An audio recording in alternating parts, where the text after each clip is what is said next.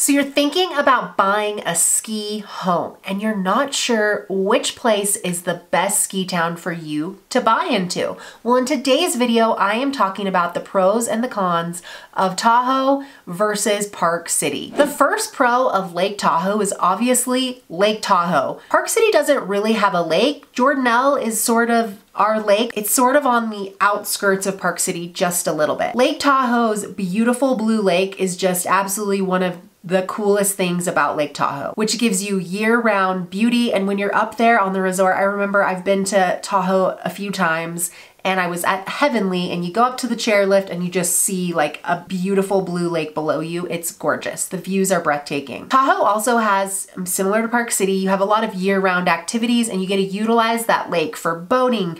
People cruise on their boats from their houses to restaurants. You also have a casino in Tahoe and when you're on the Nevada side of Tahoe, you also have that lively casino scene. Whereas Park City, we don't have casinos. So it has a lot of nightlife and a lot of entertainment. You also have kind of like the dual state experience, right? Part of it's in California, part of it's in Nevada right? So you get to experience two different states, two different cultures, two different attractions. And you have a lot of natural diversity in Lake Tahoe. You get the mountains, you get the forests, you get the lake. It caters to a lot of outdoor variety. So here are some cons of Lake Tahoe.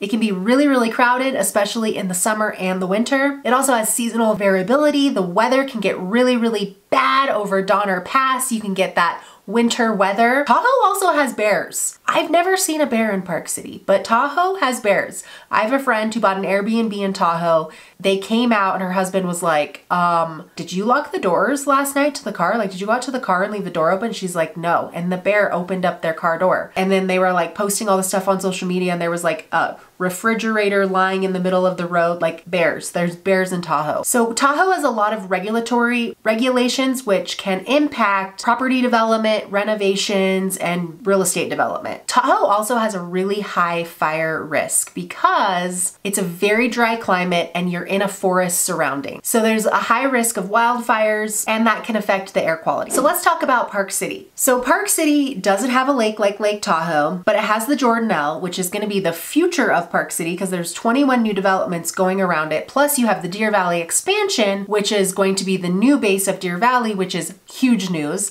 And it's going to be very high end, very luxurious, very bougie. And Park City also is kind of like a culture hub. You can buy something that is a little bit on the outskirts of town, but you're still like 10 minutes to Park City. So if you need your culture, you can go to Main Street. Park City obviously has super convenient access to the airport. When you're going to Tahoe, you're probably flying into Reno or you're driving and Tahoe's just overall a different vibe. I went to Tahoe when I was 18 to go to a snowboard camp. I remember it feeling very ghetto. Like there were certain parts of the town that were very worn down and kind of like ugh, almost like falling apart. Then they have obviously like beautiful mountain estates there. But just driving through parts of town, you can drive through kind of like a really like worn down part of town and then you'll be in a really nice part of town. And so that's something that I noticed about Lake Tahoe. And in Park City, everywhere's nice. Like you're not driving by like a trailer park into and then into like this gated community. Like everywhere in Park City is really, really nice.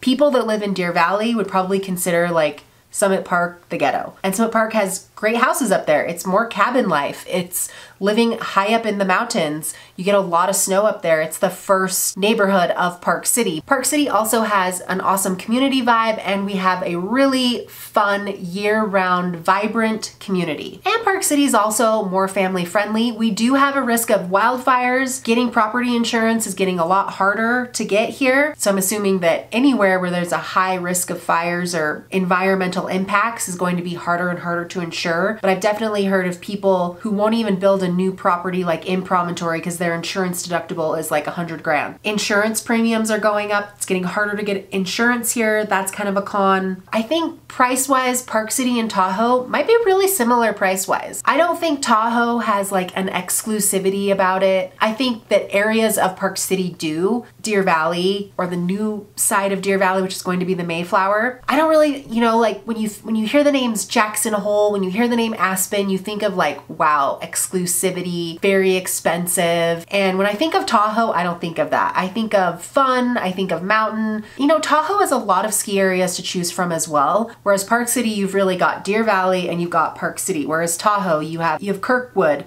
you have North Star, you have Heavenly. So you've got a lot of ski resorts around Tahoe. And you have North Lake Tahoe, you have South Lake Tahoe.